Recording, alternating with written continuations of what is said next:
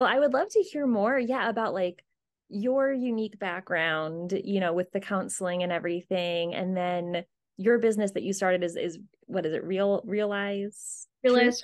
Okay. Yep. yep. And then like your travels, like whatever you think is cool to share. I'd love to just hear a little bit about that, and then we can kind of like dive into how that relates to the limbic system and to healing, or where you see healing needed the most in your work. Yeah.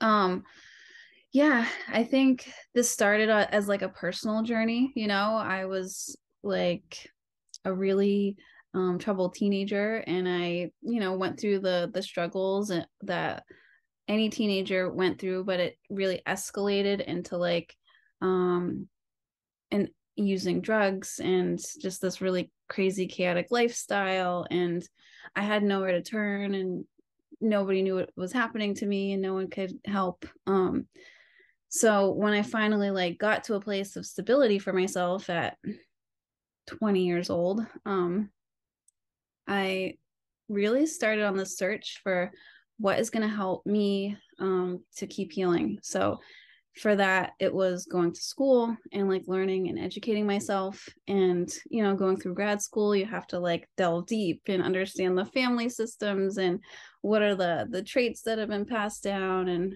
what am i holding on to myself and i went to a school for um, uh, art therapy and so the art therapy allowed the the other practices to come into play that i could tap into my body and then tapping into my body led to more emotions coming out right and understanding myself at a deeper level. And so as i continued to work with people I started to see these trends where people are just disconnected from their bodies in general. And when we get severed from our our body, we get severed from our spirit. We're just in this, you know, cognitive state where it's the the racing thoughts and, you know, sleepless nights and the physical illnesses that come from that, right? Because we're just pumping cortisol into our body all the time. And so I decided to get certified as a yoga instructor, not because I wanted to teach yoga, but because I wanted to do some yoga in my therapy practice. And so I started to teach people how to integrate their body with their mind. And it really became like a spiritual journey. I see the healing process as this more existential way of finding ourselves and like what we're supposed to do in the world. Um, rather than just like getting over symptoms, you know, because I don't think the short term way of of handling mental health really works. Um, and I feel like for me, I needed a deeper dive to cleanse not only myself, but like my family trauma um, that had been inherited into my body. And then I started to see all of these patterns with people that I was working with, especially young girls that mimicked things that I had gone through. And so I asked these deeper questions of why why are teenagers suffering? Where is this um like deep depression coming from? Is it a cultural thing? Is it just their family system? And then I started looking into this intergenerational aspect you know, and the genetic component of that and how our cells can change as um, as the generations are passed down people inherit certain things but then we also have the option of healing ourselves and healing ourselves and our brain and the neuroplasticity like we can have power and control over that right we just think that our genetics are like a life sentence and like oh i have anxiety. Oh i have depression. And it's this self-defeating kind of learned helplessness that i see people being programmed to feel in our society because that's the way our mental health industry is telling us to feel um, or how to handle it. Like you have clinical depression and that's just the way it is and you take this and for the rest of your life because you have this deficiency in your body and it's like well we do have the power to um, shift our body in a different way that can restore and it's not just in this deficit kind of mentality all the time. So I started to explore what that would look like. And it led to doing my PhD in intergenerational trauma and it's the coolest thing I've ever heard. I love that. Yeah. um, historical trauma and multi m- macro cultural factors and influences in young people. So I didn't want to leave out any part that could be influencing what a young person might be experiencing. I wanted to look at every aspect. And it took a super long time and a lot of reading. Um, but it was, it really came to a point where you can't leave anything out. Um, but it's also not this like absolute truth where this is who we are and that's it. It's like, oh, if we change these systems, if we start like if these systems can be changed that influence family structures, then family structures can influence young people in a different way. So, with that information, sorry, this is a long explanation, but I'm, I'm almost done. I love it. I love it. I love it. with that information and through traveling with my partner who has traveled the world, um, he cycles long distance across the world and so he he stays with different families along the way and he had a much more open way of traveling than i had in the past i was also a traveler but not as as open as that. But with him we've been able to just experience families taking us in you know through our travels and experiencing different cultures and this aspect of like family and community. And um, so experiencing the, the travels and understanding and learning what we don't have in our communities and systems here in the us um, we started to create the nonprofit the Real Eyes Truth because it's like realizing our true selves right? How do we re- realize our true selves? It's by healing ourselves with other people.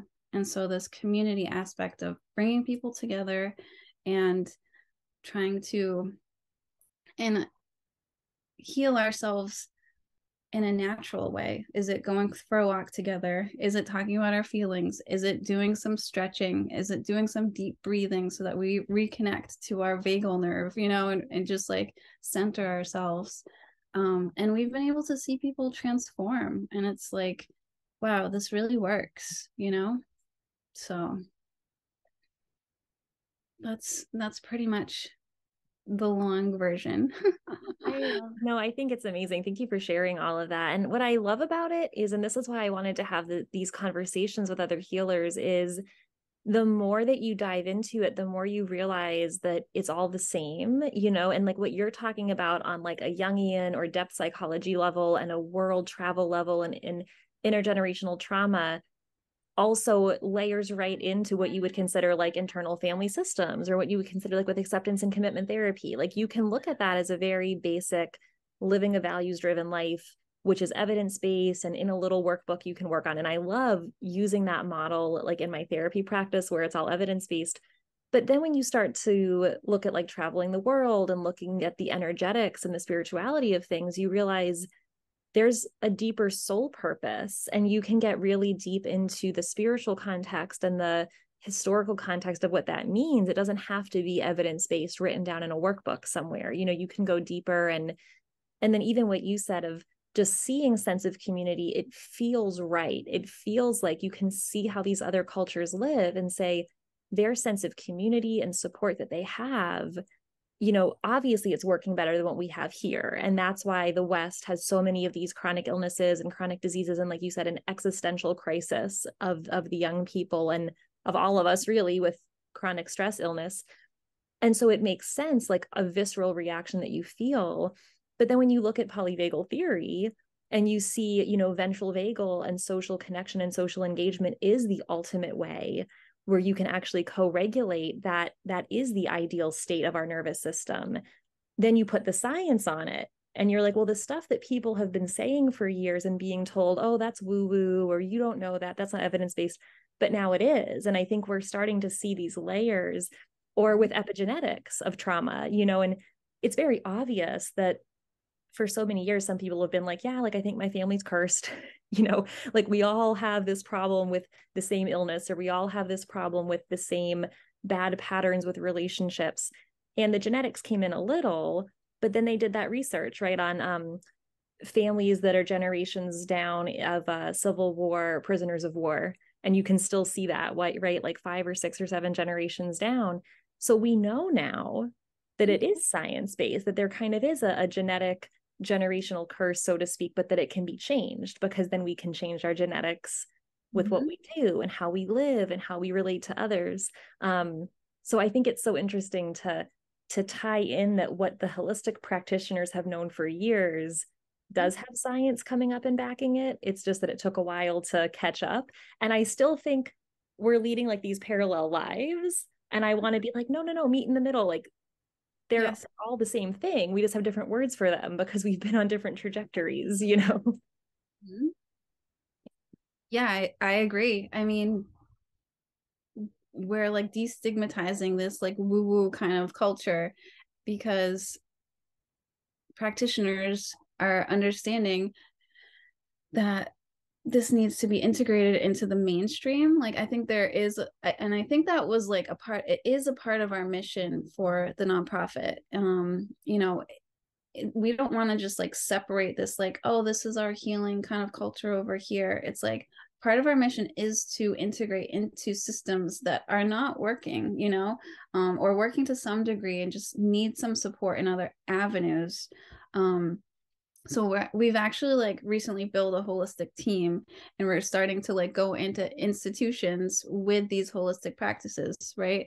And the the other aspect of it is is just like bringing a group of people as the community and forming a community little community where other people can feel that um and have those healing circles where we share about what's happening with us and and experience um other people going through things so we don't feel alone you know i i have i started doing sound healing um with the you know with singing bowls I got trained. We got trained in it, and then I used it in my private practice, you know, individually. And I saw how people can just energetically release things so much quicker than through the talk therapy, right? So I got to witness that for myself and then with other people. And also on a scientific level, it's I know it's bilateral stimulation of both hemispheres in the brain because I'm doing trauma reprocessing people are talking about their trauma while I'm activating the other hemisphere in their brain that controls the subconscious mind, right? With the sound healing so that it has access to heal the whole self instead of being in protection mode on one side and, and not being able to access everything, you know? So that's why people get so stuck in talk therapy and never move move up. I'm sure you see it all the time um but then when i made that shift it was like whoa people started to to get better much quicker and so it was a perfect example of of the science and the sort of energetic world combining um so hopefully we can do that on on a systemic level you said too it, it, it parallels over so well to our limbic system which is like Maslow's hierarchy of needs, right? Our basic needs for most of our population are at real risk right now. You know, just seeing the price of food going up and just seeing that, you know, our our ecosystems being destroyed and, and seeing the health crisis we have. So our basic needs are under assault from all sides. It's not just the people that that are struggling with chronic illness or chronic pain or the people that are that we would consider oh it's a minority it's the majority of people right now are struggling on some way with a mm-hmm. real threat at least to their way of living.